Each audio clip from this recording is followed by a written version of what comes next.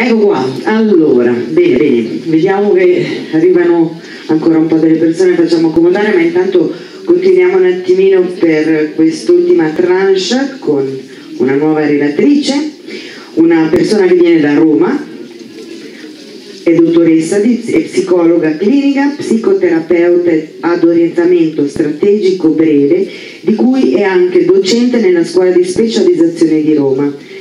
Oltretutto su questa eh, è terapeuta IADL, che sarebbe Induced After Deed Communication, che è oltretutto importantissimo perché sono solamente 10 le persone che usano e sanno usare questa tecnica in Italia, quindi abbiamo la fortuna davvero di avere una, una primizia di, questi, di, queste persone.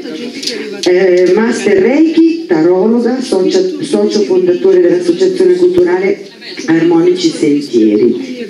Oltretutto è con grande piacere che vi informo che Paola ha frequentato la scuola di parapsicologia di Slavi Gehrig, della scuola, del corso che ha tenuto a Roma e che eh, trocchiato il microfono qua, da anni coniuga l'esperienza psicoterapeutica con il mondo delle energie sottili tenendo sessioni individuali, seminari, corsi e conferenze. Qui siamo per questo, vi presento la dottoressa Paola Matteucci. Grazie Daniela. Buonasera a tutti. Ho un compito molto arduo perché essendo l'ultima devo tenere l'attenzione di tutti e dopo anche una giornata veramente piena di diversi interessantissimi interventi e cercherò di fare del mio meglio anche con la vostra collaborazione e sono estremamente felice di essere qui, come ha detto Daniela eh, ho conosciuto Slavi a Roma eh, frequentando la sua scuola e raccontandoci così un po' di cose eh, le ho esposto di questa tecnica. Che è dagli ADC eh, una tecnica a mio avviso estremamente interessante, quindi sono veramente molto felice di poterla presentare a voi, perché realizza anche quello che è sempre stato un mio sogno, e cioè il fatto di coniugare l'aspetto psicoterapeutico con l'aspetto spirituale. Io nasco come psicoterapeuta, ho fatto tutti i miei percorsi didattici in maniera molto ortodossa e dopo 15-18 anni di lavoro di questo tipo a un certo momento oh, mi blocco, cioè mi blocco nel senso che mi rendo conto che lavorare, eh, nonostante abbia un approccio molto strategico, quindi una cosa innovativa già da un po' di tempo, però mi accorgo che il lavoro eh, classico di psicoterapia dove si parla, si ragiona, a un certo punto con determinate persone non funziona e siccome io credo che sia compito di ognuno di noi come psicoterapeuta, quindi come professionista del settore, eh, non applicare un modello alla persona che viene, ma cercare di entrare in empatia con quella persona e trovare la strategia utile che a lei che serve, che coniuga meglio quella che è la sua personalità, per portarla lì dove ci chiede di portarla, no? a risolvere una, un problema. Quindi di fronte a questo mi, eh, mi blocco, come direbbe eh, il relatore di Bragadini prima, nel senso guarda caso, non, le cose non sono mai a caso, e quindi entro in questa crisi professionale, che poi diventa sempre anche una crisi personale, chiaramente perché in un lavoro come il mio non è che se io non credo in quello che faccio non funziona, ovviamente, e, e quindi incomincio oh, a cercare qualche cosa di molto lontano da me. Cioè la frase che mi sono detta è cos'è che io non farei mai? Cos'è che è così lontano da me rispetto a questo mondo di energie sottili tanto da uh, appunto non, non, averlo fino ad oggi pensato. Ad un certo punto, a proposito di coincidenze, entro in contatto a quei tempi con il Reiki e quindi inizio questo percorso. Da lì mi si apre un mondo e incomincio poi sempre all'inizio con questa mente scientifica e quindi incomincio a fare workshop di tutti i generi, corsi, seminari, tutto quello che c'è più o meno penso di averlo fatto e eh, cerco poi piano piano con l'esperienza personale soprattutto di coniugare, capisco, la forza della dimensione spirituale. Ho sempre avuto chiaramente una passione innata per Jung, ovviamente, la mia analisi personale è durata non vi dico quanto perché dovevo fare un percorso lunghissimo, 15 anni, l'ho fatta con un, un, uno junghiano. Quindi cosa succede? succede che riesco a mettere insieme le tecniche e la professionalità di uno psicoterapeuta con eh, la dimensione della spiritualità e calcolato un particolare che per me non è un particolare perché è interessante come sto comprendendo ovviamente nel mio, nella mia strada, nel mio viaggio è che tutte le persone che vengono da me sono abituate ad un approccio molto classico quindi non vengono da me persone adesso sì ma all'inizio no ovviamente no? molto aperte sulla dimensione spirituale quindi mi trovo a fare un po' da ponte e ehm, con chi me lo consentiva piano piano di aprirle verso questa dimensione spirituale, quindi lavorata tra virgolette in mille modi, no? con tanti strumenti energetici e quant'altro, per aiutarla a comprendere come un percorso personale non possa essere scisso dalla conoscenza spirituale.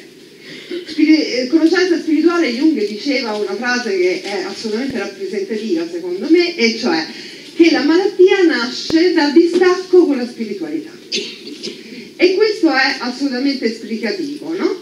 e quindi eh, integrando, aiutando piano piano le persone ad aprire questa dimensione spirituale le terapie hanno uno scatto pazzesco e sottolineano un aspetto di cui io sono assolutamente fautrice, che un percorso, sia quello spirituale che quello personale, così come hanno sottolineato anche tutti i colleghi che hanno parlato fino adesso, non possono essere scissi, non possiamo andare in una direzione anche solo nella spiritualità se non affrontiamo poi le paure che abbiamo, le difficoltà che abbiamo. Nel mio percorso spirituale ho dovuto affrontare le mie di paure perché è quello che ci mette di fronte, no? nel lavorare anche in un modo, in una dimensione che non conosciamo, di cui dobbiamo buttarci, avere coraggio, eh, riconoscere la fede e quindi entriamo anche inevitabilmente con le convinzioni che dobbiamo cambiare di noi stessi. Insomma diventa un percorso bellissimo, di tutt'altra natura. E ehm, in tutto questo mio percorso nel 2015 perché questa tecnica nasce nel 1995 in America, poi vi dirò brevemente come, ma il primo corso di formazione in Italia è stato fatto nel 2015 e qui ne approfitto anche per presentare la mia collega Irene Pulveri che è di qua di Milano e, ehm, ed eravamo un, un tot di, di, persone, poi nella realtà abbiamo scoperto che eh, era aperta e sono stati diciamo così convalidati soltanto di psicoterapeuti. Quindi in tutta Italia più o meno siamo in 10, eh, grosso modo. E quindi è una tecnica, vi dicevo, sono venuta per caso, sempre tra virgolette, in contatto con questa pubblicità dove diceva uh, una tecnica per l'elaborazione del lutto attraverso la quale la persona che sta elaborando il lutto può avere lei una connessione con chi non c'è più. Capite che per me ho detto questa io devo andare a qualunque posto perché anche fatta con il patrocinio dell'Università di Torino di psicologia è un passaggio assolutamente importante. Mm? Quindi è una tecnica, io già ho sentito un po' oh, dire in altri convegni, è una tecnica che facilita la connessione. No, non è una tecnica che facilita la connessione. Per tutto questo c'è Slavi le, le medium ci aiutano, ci fanno i corsi, ci fanno comprendere quanto questa essenza divina è dentro di noi e ognuno di noi la può sviluppare, no? sviluppando le competenze necessarie per il contatto. Questa è un'altra cosa, ma è una, una, tecnica che fa da ponte, immaginate una persona che viene per l'elaborazione di un lutto e che improvvisamente, diciamo nel 60% dei casi, improvvisamente durante questa elaborazione che ora cercherò di spiegarvi come avviene, l'elaborazione non il contatto perché questo non si sa, eh, riesce a comunicare con la persona defunta. Una, una eh, chiamiamola paziente in questo caso, che è molto lontana dalla dimensione spirituale, che non è lì, non è lì da me per fare questo, ma per elaborare un lutto. Si apre un mondo, è un'esperienza che ovviamente per chi la vive può cambiare non soltanto eh, in quel momento la sua vita, ma la percezione di quello che poi sarà la sua vita da quel momento in poi. Allora, uh, la cosa importantissima, no, vi stavo dicendo appunto che uh, nasce come tecnica di elaborazione del lutto dove si può avere questa connessione che, come è stato più volte sottolineato anche stasera, eh, ognuno ha la connessione in una maniera del tutto soggettiva, a seconda della sua, eh, in quel momento della sua preparazione, in qualche modo anche ad avere, prendere questo tipo di informazione attraverso i canali sensoriali che ha più sviluppato, per cui c'è qualcuno che ha una chiaroveggenza e quindi riesce a vedere qualcun altro riesce a sentire, qualcun altro ha la percezione diretta proprio di una carezza, no? una, un sentire, avere la certezza che quella persona sta lì, qualcun altro ha un vero e proprio dialogo. Quindi possono essere veramente molto diversi i tipi di contatto, chiaramente come siamo diversi noi. Ora, mh, mm, ecco, la cosa molto importante, scusate mi fa anche un po' di tosse, prima quella che durante il congresso di tanto tossiva ero io, quindi spero che non... Una cosa molto importante, quindi che ci tengo in particolar modo, perché soprattutto per le aspettative, perché questo deve essere chiaro, eh, è appunto che si, ha, si viene per elaborare il lutto e durante questa elaborazione ci può essere, io non posso garantirlo, onestamente non posso garantirlo, ci può essere la possibilità di avere la connessione. L'altra cosa molto interessante, che ancora non vi ho detto, è che una tecnica si fa in due sedute. Cioè, un colloquio inizialmente preliminare, perché ci sono, non ci sono controindicazioni, al massimo non si ha la connessione, ma l'elaborazione del lutto sì, non ci sono controindicazioni, ma ci sono degli impedimenti, come vedremo in, adesso a, a, breve, e quindi il colloquio preliminare è necessario per comprendere se quella persona sta nel momento adeguato per fare questo passaggio.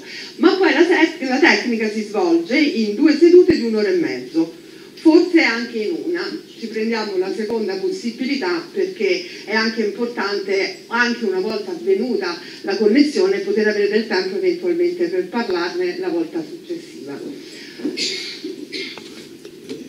Allora, una piccolissima, io sono anche molto poco psicologa, nel senso non vi preoccupate, non parlerò di tecnici con tecnicismi, cerco di rendere le cose molto semplici, però per capirci, eh, per creare proprio una piattaforma di linguaggio comune, quando parliamo di lutto, noi psicologi parliamo di un processo che dura molto tempo, perché prende in sé i rituali, l'adattarsi a tutta una nuova situazione, quindi sono mesi, a volte anche anni.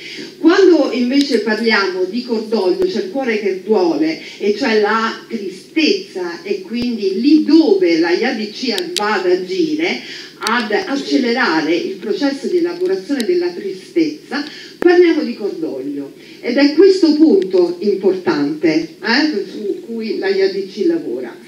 Uh, perché nella fase del processo in generale noi abbiamo queste cinque fasi che sono il riconoscimento della perdita, che non è così semplice, nel senso che un po' di tempo fa mi hanno chiamato a Napoli un'associazione di genitori che hanno perso i figli. Ora non credo che ci sia lutto, forse no, peggiore di un lutto del genere eh, la perdita di un figlio è qualcosa di veramente devastante. Sono andata giù, ho presentato la IADC, ho fatto delle sedute con una signora in particolare che è stato anche molto, perché si è seduta davanti a me e aspettava come se io fossi appunto una medium che io gli dessi il contatto, no?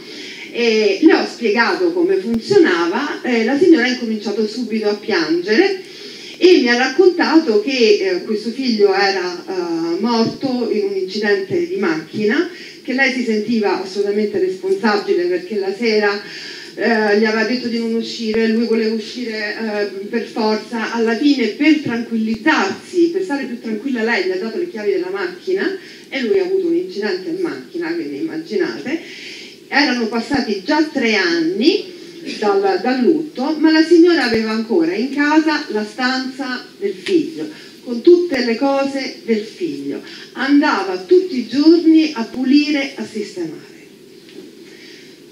una persona uh, che ha ancora un legame così forte è molto restia ad cambiare questo legame, perché nella sua percezione c'è lo perdo.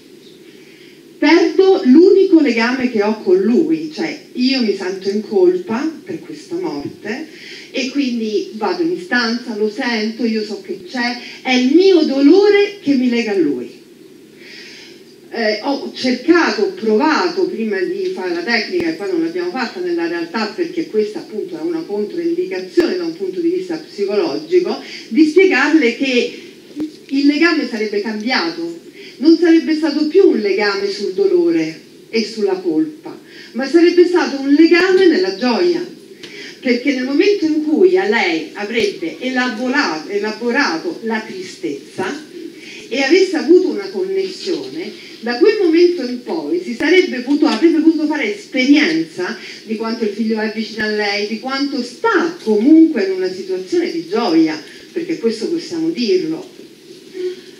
La signora ovviamente non era pronta in questo passaggio, mi guardava, eh, però non, abbiamo deciso insieme di aspettare un po' di tempo e magari provare più avanti. Questo è per spiegarvi che il riconoscimento della perdita, che non vuol dire non soffrire ancora, ci mancherebbe, eh, però il riconoscimento e anche l'intenzione di voler andare avanti deve essere ovviamente presente emotivamente. Così come sperimentare la tristezza a livello emotivo. Ora, sicuramente tutti eh, purtroppo abbiamo avuto un lutto, sappiamo il dolore che proviamo, però è anche vero che viviamo in una cultura che uh, demonizza moltissimo il dolore, no? Per cui che cosa fa?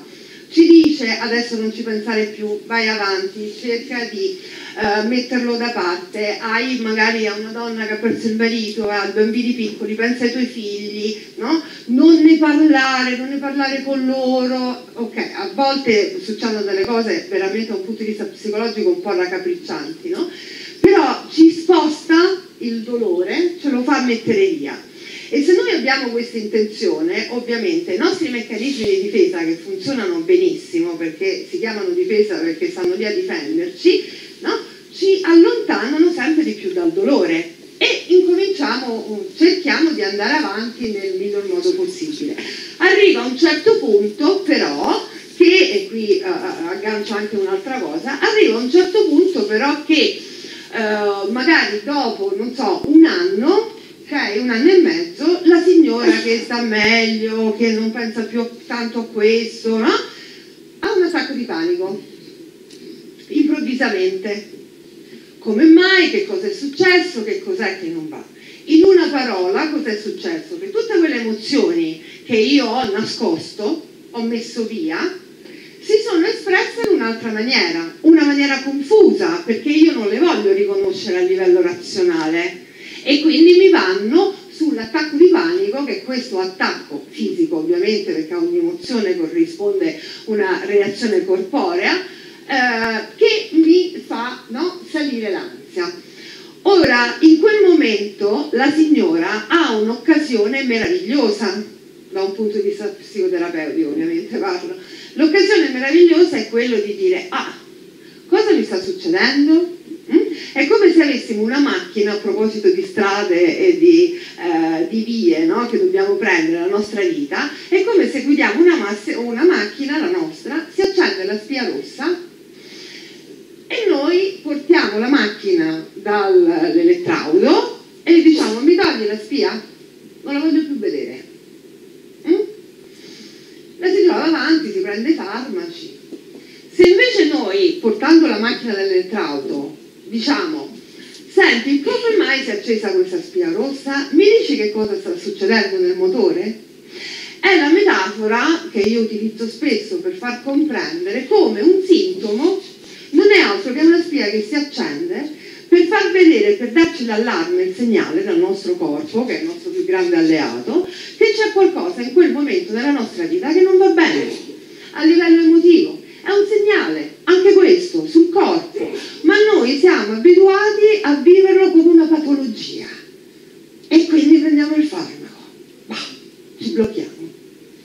Allora il mio grande sogno, eh, ed è per questo che eh, sto anche qui, è quello di eh, far comprendere che la psicologia, come dice la parola stessa, che nasce da psiche, discorso intorno all'anima, l'hanno patologizzata, l'abbiamo patologizzata, ma non si deve occupare soltanto del sintomo, si deve occupare dell'accompagnare le persone verso un percorso di conoscenza profonda di se stesse per il contatto con la dimensione spirituale. Questo sarebbe meraviglioso.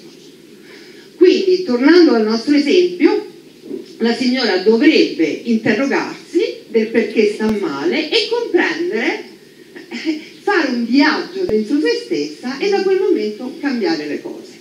Vado più veloce, se no ci metto, comincio a parlare. Eh, ristabilire l'altra fase è ristabilire una nuova relazione con il defunto come può accadere nella IADC identificare addolorarsi per le perdite secondarie e sviluppare un nuovo sé positivo queste sono uh, fasi che avvengono ovviamente lungo oh, il tempo no? La IADC lavora su quelle, le prime, le seconde, la seconda e la terza, su quelle in giallo. Lavora esattamente su, eh, attraverso una tecnica che adesso cercherò di spiegarvi in breve, nel farci stare sulla tristezza, quindi sull'elaborare quelle emozioni che avevo messo via, hm?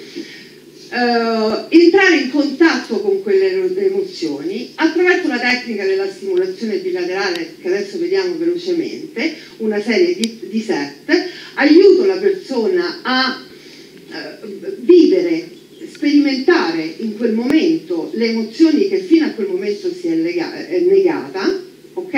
E in questo processo, ad un certo punto, la persona ha una IADC, cioè una connessione con la persona defunta. Come funziona? Mm. Allora, vi dico un attimo brevemente come nasce la tecnica, ma insomma soltanto per citarne l'autore che mi sembra eh, d'obbligo. È Alan Botkin, forse avete, qualcuno ha visto da qualche parte un libro che lui ha scritto proprio su questo eh, ed è interessante anche a proposito di coincidenze come lui è venuto in contatto con questa tecnica, perché lui è un collega americano che ha lavorato soprattutto, lavorava in quel periodo con i residui dalle guerre, quindi con i militari, no? Uh, e quindi che soffrono ovviamente di disturbo post-traumatico da stress che vedono morire a volte uh, i loro compagni.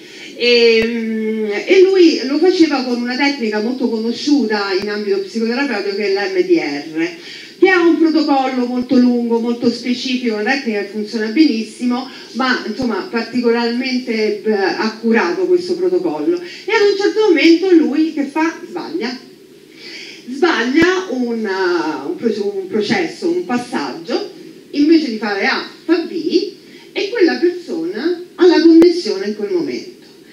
Lui, da bravo anche lui molto, come dire, tecnico, non gli dà grande importanza, ma questa cosa ovviamente rimane no, nel subconscio e quindi lo ripropone, lo ripropone, lo ripropone e si accorge che nel, quando lui non diceva niente, al 100% dei casi avveniva la connessione. Dal momento che lui ha strutturato il metodo e quindi ha cominciato a condividerlo, la percentuale si abbassa. E siamo arrivati al 70%, ma questo è normale, no? Perché a quel punto subentrano le aspettative. Mm? Per questo dico, è molto importante eh, avvicinarsi a questa, a questa tecnica con, mi rendo conto che è difficile, eh, però con l'obiettivo di elaborare il lutto e poi vediamo quello che accade. Mm? Se arrivo perché voglio avere la connessione è molto probabile che questo non accada. Uh, quindi uh, lui uh, vi dicevo che ehm, veniva da quest'altra tecnica che è l'MDR che è una tecnica appunto abbastanza complessa ma che lavora con una uh, tecnica in particolare che sono le simulazioni bilaterali, che non è solo dell'MDR ma anche di altre tecniche. Ora, per capire veramente brevemente come funziona, um, una piccolissima premessa che contiene come sempre, come le premesse, una buona notizia e una cattiva. La buona notizia è che tutti noi abbiamo un sistema di autoguarigione che è assolutamente naturale, no? Come noi ci facciamo male, il corpo si adopera per rimarginare la ferita da un punto di vista più strettamente fisico. Da un punto di vista psicologico è uguale. Noi siamo oh, in grado di risolvere e guarire anche da qualunque tipo di problema a livello psicologico ed emotivo. Il no, tutto il nostro corpo si adopera per fare questo e c'è questo sistema che è stato chiamato sistema di elaborazione adattiva dell'informazione che a livello psicologico cosa fa? Eh, cerca di rendere innocue quelle emozioni negative che ci arrivano.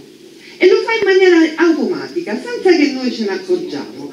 E lo fa in una fase ehm, particolare che è stata citata stasera eh, nella fase REM quando ci addormentiamo durante i sogni perché nei sogni in quella fase accadono dei movimenti oculari mh, hm, che sono il riflesso di tutta questa elaborazione che il nostro cervello fa. Uh, molto brevemente, immaginiamo il nostro cervello come un computer. Uh, arrivano tante informazioni, noi prendiamo costantemente informazioni e tutti gli eventi che ci accadono sono informazioni un po' più complesse, perché magari un evento è fatto di una sensazione corporea, di un'emozione, di un'immagine, di un pensiero, ma sono tutte informazioni. E quando lo viviamo, automaticamente nel nostro cervello ci sono tutti i vari organi deputati allo smistaggio, così come quando nel computer inseriamo dei file, li mettiamo nelle caselle, lì dove c'è un argomento analogo, specifico, no? li mettiamo insieme. Questo sistema di autoguarigione funziona così e quindi smista hm, in tutte le, le varie sezioni che abbiamo nella nostra mente le informazioni, le sensazioni, le emozioni, quelle simili, quelle analoghe, le mette tutte insieme, le divide, le filtra e molto spesso riesce a farlo eh, in maniera automatica. Vi faccio un esempio. Io lavoro oh, in una ditta e eh, discuto con il mio capo. Torno a casa, sono arrabbiata, sono dispiaciuta e siccome è il mio capo sono anche un po' preoccupata, no? Che succederà domani? Ad un certo punto arriva la sera, vado a letto. La mattina dopo mi sveglio, scusate le semplificazioni, ma tanto a me interessa che voi comprendiate il concetto. Um, la mattina dopo mi sveglio e dico, ma sai che c'è? Ma io mi sono ricordata anche che uh, il mio capo già ci ho litigato, già ci ho discusso, ma poi gli passa. Non è una persona che poi porta rancore. Eh? E vado in ufficio un pochino più serena Cosa è successo? È successo che la notte, in quel momento particolare, eh, si creano delle connessioni neuronali per cui tutte le informazioni che noi abbiamo preso rispetto alla, alla giornata, a questo evento, creano nuovi significati utili. La mia preoccupazione forse eccessiva perché è successo un'altra volta e è andata bene. Quindi, in base alle esperienze passate, noi possiamo creare dei nuovi significati. Ok? Sono stata chiara fino a qui? Perfetto. La cattiva notizia è che quando un evento è forte, è quello che gli psicologi chiamano il trauma, il trauma cos'è in una parola? È un evento che arriva carico di emozioni negative, cioè dolorose. Improvvisamente nella vita della persona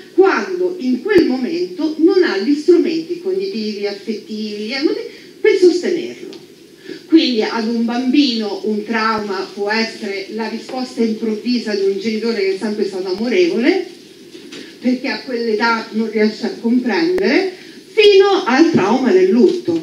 Ok? Quando arriva un trauma così grosso, cosa succede? Succede che tutto questo sistema tilt. E quindi questo evento carico della sua sensazione, immagine, pensiero, emozione, vi rimane fuori dalle reti neuronali e non è più, come dire, non è in grado di creare nuovi, non siamo in grado di creare nuovi significati e viviamo quell'evento come se fosse, stesse accadendo in questo momento. Questa è la base della psicologia, della patologia psicologica. Quando io rivivo costantemente un evento come se fosse accaduto ieri. Ok? Uh, cosa facciamo durante la IADC? Le simulazioni bilaterali, che sono delle simulazioni alternate, non lo posso fare che ho il microfono, però una destra, sinistra, destra, sinistra, destra, sinistra, e lo posso fare con gli occhi, lo posso fare con il rumore, lo posso fare con quello che viene chiamato il tapping, toccando delle parti del corpo, in tanti modi. Mm, chi conosce l'EFT per esempio ha anche un'altra tecnica che si basa sulla simulazione bilaterale uh, perché ovviamente la simulazione bilaterale fa un'altra cosa che è già stata detta oggi no? più volte cioè cosa fa? mette in comunicazione i due emisferi no? Quello più uh, diciamo razionale e quello più intuitivo no? aumentando le connessioni e quindi i significati utili quindi crea nuovi significati anche perché aumenta questa connessione. Quindi eh, utilizzo una di queste tecniche, modalità per attivare la simulazione bilaterale anche a seconda della persona che abbiamo davanti e eh, vengono chiamati set eh, chiedendo alla persona di fare un passaggio che è molto importante e cioè ed è per questo che lo psicoterapeuta qui secondo me ha la sua importanza perché si chiede alla persona quando viene da, davanti a me, oltre ovviamente un'accoglienza, un parlare, di rintracciare quello che può essere per lei il momento peggiore dell'esperienza, del trauma che ha vissuto. Mettiamo la perdita, ad esempio, della signora, la perdita del marito. Insieme cerchiamo di rintracciare qual è il momento hm, di tutta la sua tragedia, in cui lei sente maggiormente il dolore. Ed è, è abbastanza insomma, evidente, mh, mm, si chiede poi di fare una scala, anche qui ovviamente c'è tutto un protocollo che adesso non vi sto a dire nei particolari, però gli si chiede di restare in quella sensazione, la si fa vivere nel corpo, dove la sente, questo dolore dove lo sente, rintracciare l'emozione quindi nel corpo, l'immagine, il pensiero, gli si chiede di stare lì e in quel momento gli si incominciano a fare una serie di set di stimolazioni bilaterali.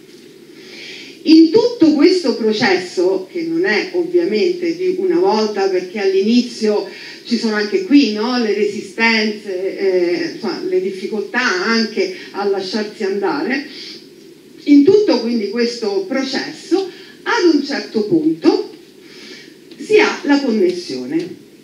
E come vi dicevo all'inizio, la persona incomincia a... si vede. Io ho avuto delle esperienze bellissime, poi anche Irene se vuole eh, anche condividere lei con noi la, la sua esperienza, in cui delle persone, eh, quello che mi rimane più impresso a me, che sono lì e, e sono partecipe e guardo, è la distensione del viso. È come se una, venga tolta una maschera e si ha un sorriso hm, che riempie veramente la, la stanza. È un'esperienza solitaria, ovviamente, io non entro in merito a nulla, la lascio stare, la lascio lì. Quando lei ha finito, riapre gli occhi. Questo può essere 5 minuti, un minuto, un quarto d'ora che è un tempo lunghissimo.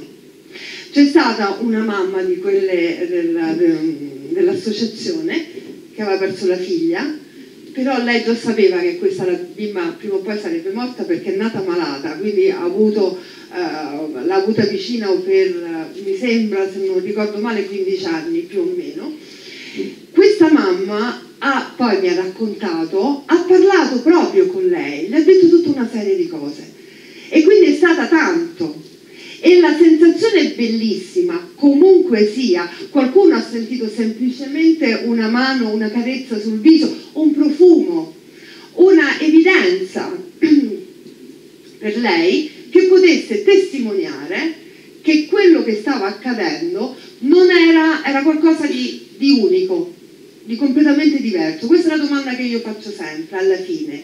Ma quello che ha vissuto, quello che ha sperimentato, è qualcosa che può essere paragonabile ad altro che ha vissuto, ovviamente non chi è sensitivo, medio o quant'altro, e tutti rispondono di no. È la prima volta che mi succede, ho una sensazione, una percezione, un'immagine del genere. L'altra cosa bellissima è che si ha la percezione diretta dell'amore dell'altro. Ecco perché all'inizio vi dicevo si cambia il legame del, dal dolore alla gioia. Ma io l'ho sentita, l'ho sentita bene, l'ho sentita felice, l'ho sentita della gioia, se, se sentivo una preoccupazione era per me. Mm? E questo è meraviglioso. Ed è ehm, una cosa che ci tengo a sottolineare, eh, ora torniamo su, anche su questo delle, delle, convinzioni che cambiano, però è molto importante perché eh, l'unica emozione che ci aiuta in questa connessione è la tristezza, hm? ma non per me, è la tristezza proprio della mancanza no? della persona che amo. Mi preoccupo se sta bene, se sta male, dall'altra parte, perché poi sono queste le domande che fanno, no? Ma sta bene? Anche quando eh, no, facendo il corso con Slavi no, eh, lavoriamo sull'aspetto di medialità, ovviamente un'altra cosa, però le domande sono quelle, ma sta bene? Allora, questa emozione ci porta su, l'emozione dell'amore ci porta immediatamente ad avere un contatto. Se invece stiamo su un'altra emozione, che eh, oltre a quella che vi ho detto prima, del senso di colpa, hm, la rabbia, il contatto non avverrà mai. Perché la rabbia ci fa stare sull'ego. Io sono arrabbiata. Quindi io penso alla mia rabbia. Così come, chiaramente con un tono diverso, la signora stava sul senso di colpa, il suo, e allora lì, prima percorso personale e spirituale, prima bisogna aiutare la signora a fare il suo percorso, di sganciarsi dal suo senso di colpa, poi arriva la connessione, sicuramente, perché a mio avviso, questo è assolutamente il mio modo di vedere, sono i due aspetti che vanno insieme. No? Una, un altro, un'altra persona, un ragazzo un medico, medici poi ovviamente i medici classici sono quelli più difficili, no? chiaramente. Però questo è un ragazzo giovane ehm, che ha provato la IADC, fallimento totale, perché? Perché lui ha detto ma no, per il padre, io ho un rapporto con mio padre splendido, no? durante la IADC sono emerse tutta una serie, il colloquio preliminare e comunque anche durante i set di, di simulazioni, tutta una serie di emozioni di cui la più importante era la rabbia. Lui era talmente tanto arrabbiato con il padre hm, che ad un certo punto si è alzato e se n'è andato. Un'altra bellissima, bellissima, un'altra, se n'è andato nel senso poi, poi è rientrato, ne abbiamo parlato, però non voleva proprio, si è rifiutato, così come un'altra ragazza con la madre, per il contatto con la madre, anche là io l'ho vista che l'ha preso lo stava prendendo il contatto, ha riaperto immediatamente gli occhi e ha detto no, sono troppo arrabbiata con lei. Allora, questo perché ve lo dico? Per sottolineare il fatto che a mio avviso non è un caso, che se siamo nell'ego, quindi nelle emozioni appunto, della rabbia, della colpa, che con ego intendo no? quella parte, eh, io me la chiamerebbe di personalità, che ci lega a quelle che sono tutti i nostri aspetti più terreni, se stiamo lì, su non ci andiamo.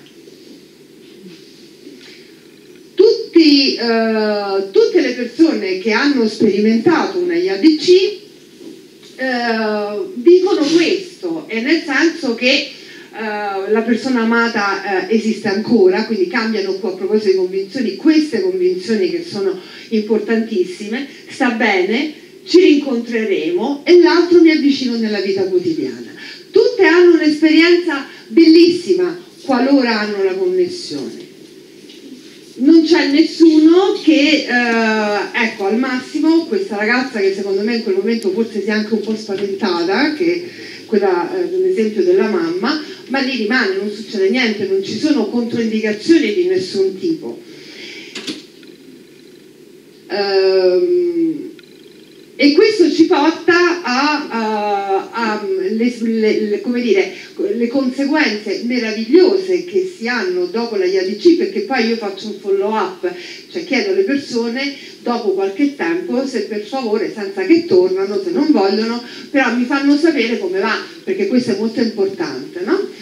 Ehm, hanno tutte appunto hanno dei cambiamenti nel rapporto con la persona per cui hanno fatto la IAPC e, e, e, ed è la differenza principale con le allucinazioni perché ovviamente eh, una delle eh, come dire ehm, critiche che vengono mosse a questa tecnica una è la suggestione però io dico basta che funzioni no? qualunque cosa se poi veramente accade va bene. Anche vero che, come abbiamo detto all'inizio, l'aspettativa qui gioca contro, perché più me l'aspetto, no? come quando si lavora con la spiritualità, eh, più me l'aspetto e più non accade. Le allucinazioni, noi un po' più addetti al settore sappiamo che sono, mettono paura, normalmente sono delle, eh, delle visioni di, innanzitutto di qualcosa che non esiste. Noi sappiamo che qui si ha un contatto con qualcosa che già esiste, no? ma eh, in questo modo, con questa tecnica, è come se in quel momento riuscissimo no? a passare, ad avere un'espansione di coscienza tale da avere un contatto? Quindi con qualcuno che è già intorno a noi. E sono però, come vi dicevo, eh, esperienze eh, belle che riempiono l'anno, non c'è nessuno che ha esperienze negative, devastanti. Ed è una uh, delle critiche appunto mosse contro uh, l'osservazione di essere simili a delle allucinazioni. L'altra è che a volte in questi contatti si hanno delle informazioni uh, che poi tornando a casa la persona vede eh, parla, si confronta e quindi delle informazioni nuove che neanche la persona stessa sapeva. Mm? E l'altro aspetto estremamente interessante è che possono essere anche condivise dal terapeuta. Sinceramente a me, ehm, al di là del fatto, ovviamente io quando, la, quando facevo la IADC, mh, mm, e non avevo un'apertura che poi Slavi mi ha aiutato ad ampliare, quindi stavo lì effettivamente soltanto come psicoterapeuta, mi è capitata una volta. Una volta ed è stato molto bello perché eh, era una ragazza che stava elaborando la perdita di una zia alla quale era veramente molto legata e ehm, ha avuto una sola, nel momento che lei ha avuto la sua connessione, io ho visto suo sul suo grembo un coniglio bianco, un coniglietto bianco di pezza. Mm? Questa è stata la mia prima immagine così. L'ho tenuta per me, ovviamente abbiamo finito tutto quanto, poi la volta dopo, quando l'ho rivista, abbiamo potuto parlare e lei mi ha raccontato anche molto, perché poi sono anche esperienze che no, dobbiamo un pochino digerire, quindi rivedersi dopo aiuta anche nella condivisione ad un altro livello. Mi ha detto che effettiva, e quindi io mi sono permessa anche di dire, senti, ma io ho percepito, ho visto questo, ha un senso?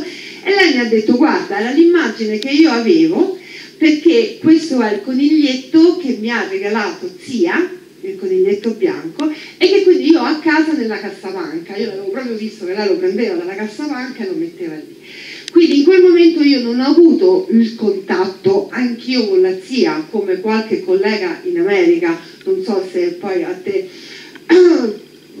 perché purtroppo noi siamo pochi e pochi casi, ancora non vi posso portare numeri, non ci sono eh, statistiche che possiamo condividere. Abbiamo dei casi clinici che stiamo cercando di mettere insieme fra di noi e quindi delle esperienze, però proprio come dati italiani non ne abbiamo. Eh, però questa è stata appunto, vi dicevo, non ho, non ho partecipato alla connessione, però ho avuto un'evidenza in quel momento io ho visto esattamente qualcosa che era collegato con la zia e che lei aveva in quel momento, eh, si sentiva questo coniglietto, eh, coniglietto addosso. Uh, quindi questo aspetto, uh, così come tutta la ricerca uh, sulla IADC, vi, vi, stavo dicendo, è, eh, è in itinere e dobbiamo lavorare. È una tecnica che secondo me eh, apre ad infinite possibilità perché eh, probabilmente questa stimolazione bilaterale fatta in un certo momento con determinate emozioni è come se si accendesse una miccia, no? quindi nel lavoro poi di eh, apertura spirituale può essere eh, uno strumento da considerare probabilmente a più livelli. Però in questa fase e in questo momento deve essere assolutamente riportata come tecnica di elaborazione del lutto attraverso poi eventualmente si ha la connessione. L'altra cosa che vi volevo, non so se ve l'ho detta, ehm, non mi ricordo ma mi sembra di no, è che non si fa prima dei sei mesi dal lutto. Uh, prima di partire una persona mi ha chiamato, aveva perso la moglie da 15 giorni e aveva detto se poteva fare questa tecnica, no.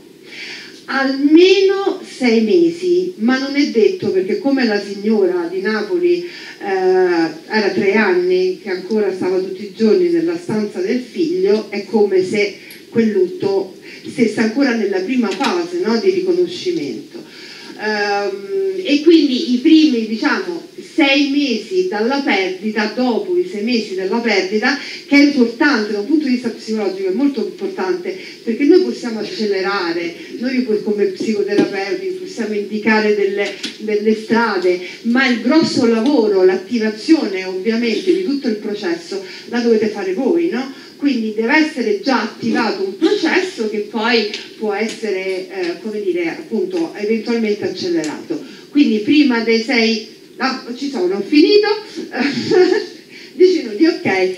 Eh, concludo soltanto così lascio tempo a qualche domanda se qualcuno vuole, se no racconto ancora qualche caso io, con questa frase eh, di Jung che poi secondo me, infatti ci pensavo mentre stavo lì, che tutti i relatori hanno detto delle cose che molto importanti anche poi per il mio intervento, no? quindi le cose non sono mai a caso, Jung è stato citato un po' da tutti, guarda caso l'unico, e, mm, con una frase che è alla fine di un suo pensiero ovviamente, ma che è estremamente rappresentativa e mette veramente in, insieme poi eh, quello a cui io tengo no? in maniera particolare che vi dicevo all'inizio, cioè il percorso personale e spirituale sono due dimensioni che devono circolare insieme, che è proprio chi guarda fuori sogna, chi guarda dentro si sveglia.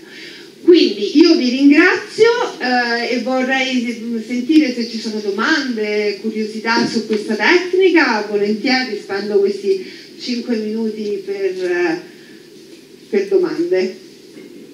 Intanto siete stati bravissimi, vi ringrazio che avete retto un'altra ora. Grazie.